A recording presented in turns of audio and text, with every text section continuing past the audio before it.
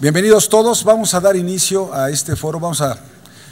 Sabemos que todavía falta por que lleguen algunos eh, de nuestros invitados, pero tenemos que ser muy eh, estrictos con el tiempo hoy, por una razón, ayer nos eh, comunicaron que tenemos sesión del Pleno del Senado de la República, hoy mismo a partir de las 2 de la tarde. veremos, se desaguarán entre otras cosas parte del paquete fiscal que, que ya nos llegó de Cámara de Diputados, y también las propuestas de nombramiento del presidente de la República para Procurador General de la República y Secretario de la Función Pública, entre otros temas. Entonces, vamos a iniciar ya con el foro. Les doy la bienvenida como presidente de la Comisión de Comunicaciones y Transportes a todos ustedes. No está la presidenta de la Comisión de Estudios Legislativos, Graciela Ortiz, pero está el senador Manuel Cavazos, integrante secretario de la misma, que nos acompaña en esta, en esta mesa.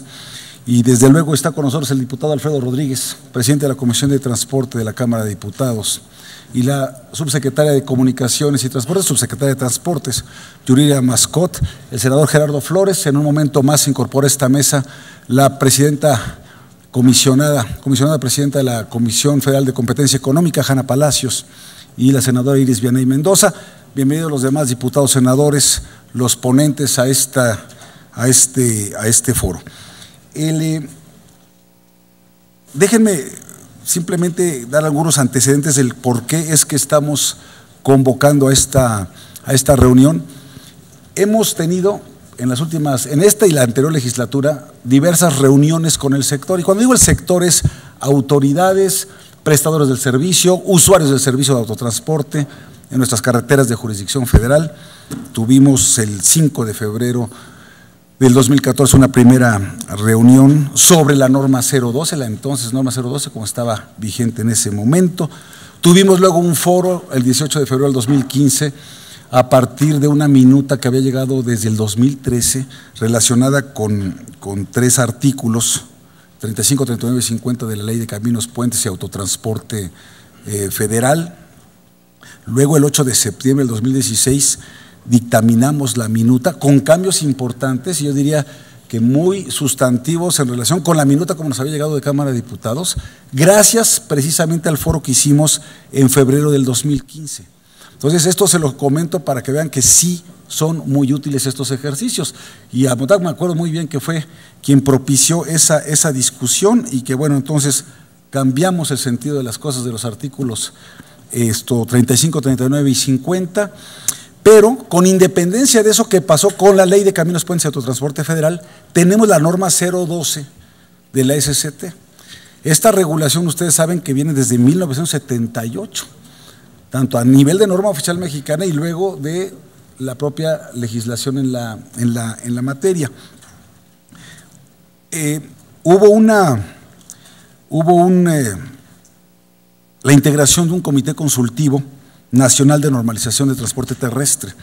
Este se conformó con autoridades, confederaciones, cámaras, usuarios, organizaciones del sector y también académicos.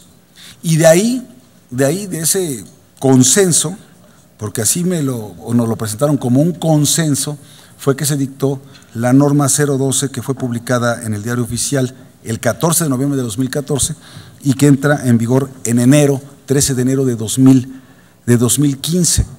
Esta nueva norma, esta nueva norma oficial mexicana 012 o su contenido, tiene algunas diferencias en relación con la anterior. Disminuye la velocidad para los fulles a 80 kilómetros, antes eran 95 kilómetros por hora. Limita semirremolques a 40 pies, antes eran 45. La car eh, limita la circulación de los dobles remolques a carreteras de altas especificaciones, antes no había esta limitante. La carga en los fulles se limita a 75 toneladas y media, antes era de 80. Se homologa el peso de tractocamiones sencillos y se establecen límites de pesos y dimensiones acordes con el tipo y clasificación de las carreteras. Pues hasta aquí suenan las cosas muy bien. El problema que hemos visto en los últimos tiempos, desde que entró en vigor esta norma oficial mexicana, es que sigue la incidencia de accidentes en nuestras carreteras, autopistas de jurisdicción federal, Muchos de ellos muy visiblemente se trata de dobles fulles o dobles. Y ha habido todo un movimiento muy, eh, digamos, muy entendible en los últimos tiempos de revisar qué está pasando. Y ahí es donde yo quisiera, y con esto voy a terminar mi intervención inicial, yo lo que quisiera es que en este foro nos concentrásemos en, en algunos aspectos fundamentales.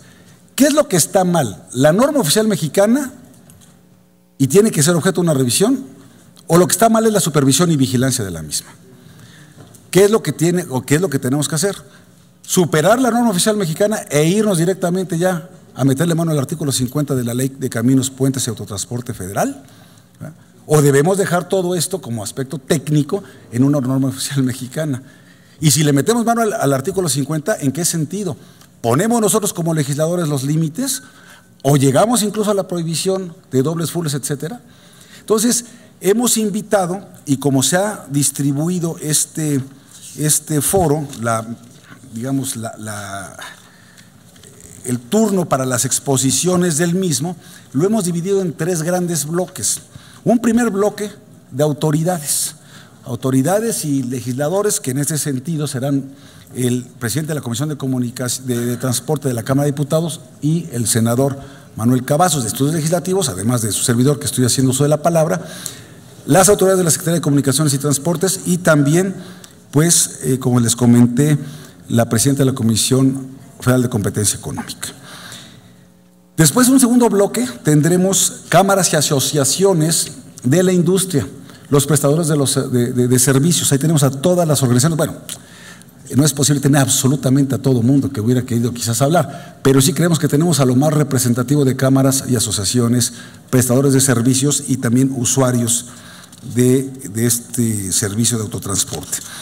Y tenemos, por último, la intervención muy importante para nosotros de representantes de la sociedad civil que están encabezando este movimiento respecto a los dobles remolques, pero también representantes de la academia, instituciones de educación superior, en fin.